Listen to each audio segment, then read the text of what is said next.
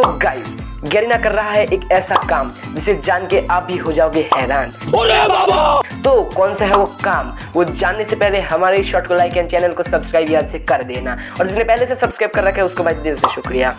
तो गाइज़ अभी के टाइम में हमारे फ्री फायर में SCAR import Avon M P five car ninety V S S ये सब गन चीप से अपग्रेडेबल है।